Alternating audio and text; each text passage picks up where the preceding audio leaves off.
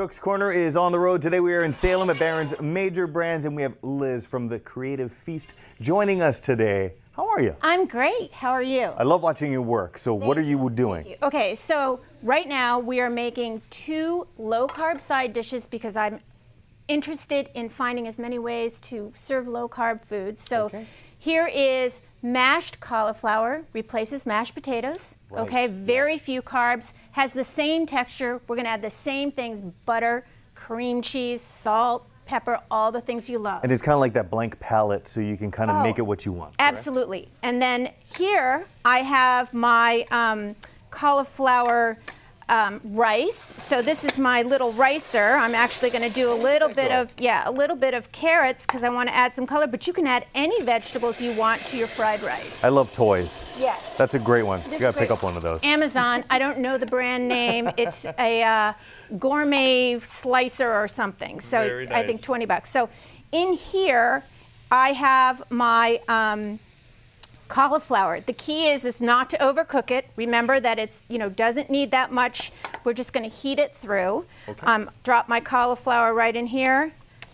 But you could do this if you had a um, grater, a regular box grater. you could do it. you can even buy it that way, and some people buy it frozen. So there we go. That easy. best. Yes.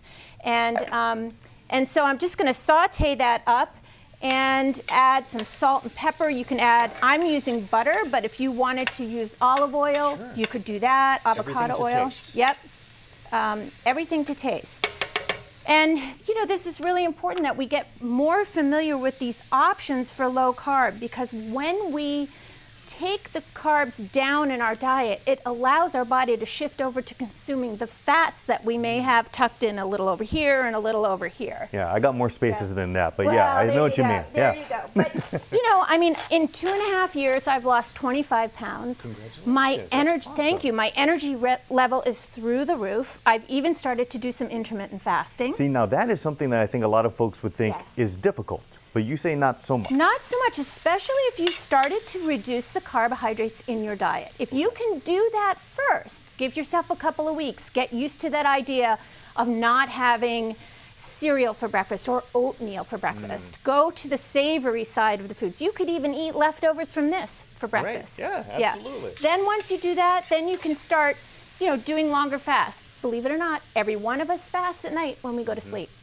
So That is very yes, true. yes, yeah. Liz, tell us real quickly for anybody who's interested in what you do and they want to hear more from you, how can they find you? Well, you can go to my website, thecreativefeast.com. I may be in your area. I do these programs at libraries all over New Hampshire, Massachusetts. I do them at um, schools for employees. I do them in corporate settings. All of that information is there. All right, Liz, thank you so much for your you. time. Thank Stay you. tuned. We'll be right back.